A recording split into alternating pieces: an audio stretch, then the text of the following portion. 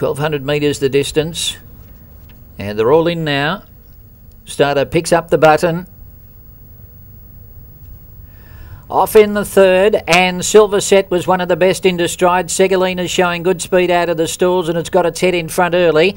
Zazzy from the inside stall is going with it, and special mention easing out of that speed battle to go back to third. And then we've got Valley Saint who's railed up to save ground into fourth now. Silver Set after jumping well midfield on the outside of Tidy Package.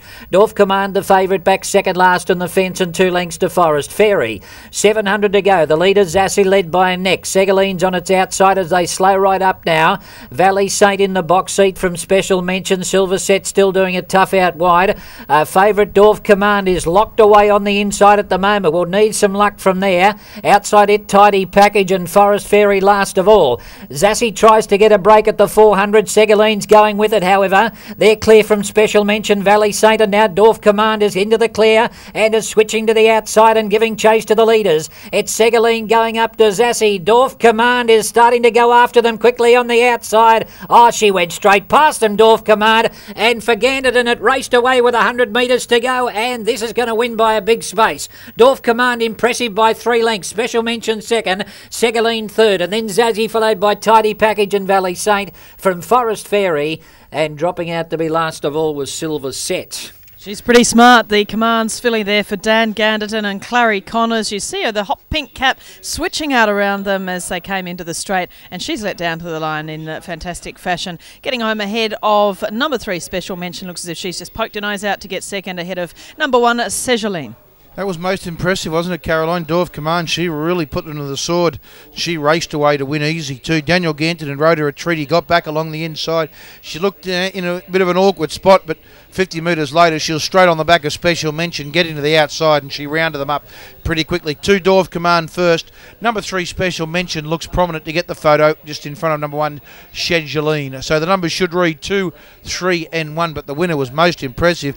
Um, as soon as Segaline got onto uh, Zassi, the horse behind the Valley Saint was struggling to keep up. Special Mention was, uh, you knew was possibly always going to get Segaline, but Dorf Command got them in two bounds. The numbers are official now: two, three, one, and eight. Two, three, one, and eight. Dorf Command special mention Segaline, and officially fourth. Caroline was number eight, Zassi.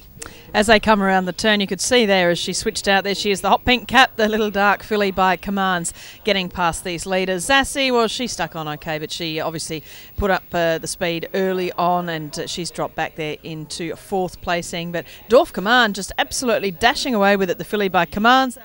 Warrior mare in Mesdor for Dan Ganderton and Clarry Conners. Here she is coming back to scale, and she did that really, really easily. Once she got out, that was uh, very easy indeed. And uh, Clarry Conners is now with Richard. Yeah, I think Clarry might be pretty happy too. She's now put three in the, the trot, and Clarry, she is just going great guns. Yeah, mate, she's flying, this little filly. She, I reckon her heart must be as big as she is herself. Not much of her, as you can see. But she's. Um, she just kept going forward, leaps and bounds every time I put her down. And she's a lovely. I don't do much with her, and she's happy, you know, and happy horse, happy trainer. the best part about her, Clarry, was she looked at an awkward spot. 100 metres later, she had him beaten. Yeah, well, I was pretty worried when she was back there because she's never been back there. Oh, well, she has once, and she got beat pretty easy. Uh, but um, you know, was, but you know, he got out really good. The boy, he's he's riding very well. This Ganderton but got out the right time, and but she really accelerated the line. It's very, I thought it was a very impressive win. You weren't the only one that thought it was impressive. I think we all did, mate. Well done. Thank you very much. Very good trainer, Clarry Conners, and the good ride, young Daniel Ganderton. And well, uh, in the middle stages, I think everyone's thinking, "Oh, gee, she's in an awkward spot," but 100 yards later, you're home.